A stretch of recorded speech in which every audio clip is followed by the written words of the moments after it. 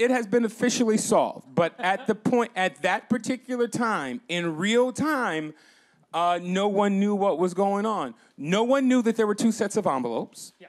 So you know, let's let's talk about that. On each side of the stage. Um, uh, and on each side of the stage, and that was still news to me. It was like, really, it's interesting. I've hosted many award shows, you know, we've only had one set of envelopes, and, and so that was news.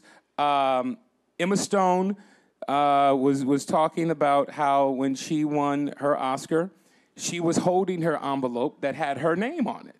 So as we're watching this, as she's doing the interview backstage, and she says, "I don't, I don't know what uh, he was talking about because I was holding the envelope in my hand that had my name on it." And you know, you don't see the bait and switch. You don't see that. So it, it was, it was, it, you know, I'm, I'm doing my, I'm doing my best, Detective Kevin Bernard, Law and Order investigative, you know, thing. And I'm like, hey, man, you heard her say she had the envelope, so how could he say he had it? So what's going on with that? You know, you don't make a mistake like that. Uh, but you know, it was cleared up uh, later that evening and, and the next day that there are two sets of um, are two sets of envelopes on either side of the stage.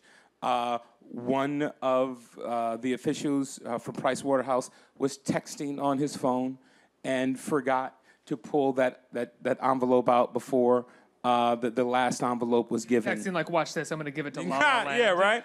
And and unfortunately, the young lady that was working with him on the other side of the stage, they both lost. They both lost their jobs. They both were fired from the company because of hi because of what he was doing.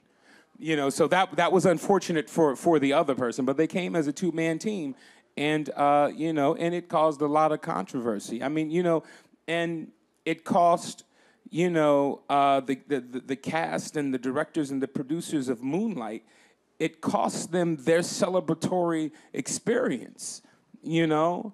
Uh, and it a all weird moment. It was It- like it was. with, with I think without intention, it became a symbolic, mo- more of a symbolic moment than needed. Than symbolic needed how?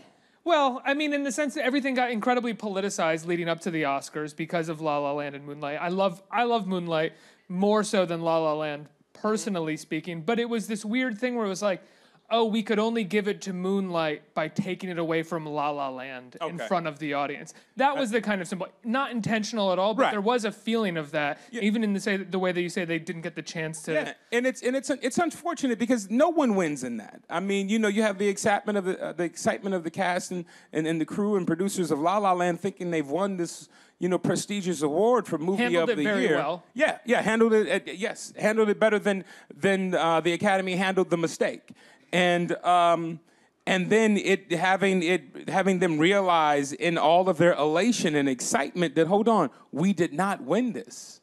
This is not our award. You know, so let's give the award to, you know, the, the right party. And and you know, it's unfortunate for them, but it's also unfortunate for uh, you know, the cast and crew and producers of Moonlight. A- another great movie. It's like, ah, oh, okay, they won. Yay.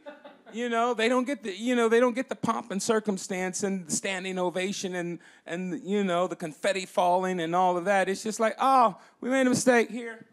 Here's your here's your award. And Jimmy Kimmel coming out and being like, "It's just an award show, Yeah, guys." It's yeah, like, you I know know. you're trying to cover your ass now, but that's not what it feels like. to- Exactly. yeah. Exactly. So I mean, but you know, it's it's it, it- look, it, it's it's real time TV. It's what happened, and and we all do what we have to do in the moment, may, good, bad, or indifferent. I loved watching your conspiracy theories. That Oh, I that- loved that I while loved it too. on the Senate. I loved it because I was gonna get to the bottom of it.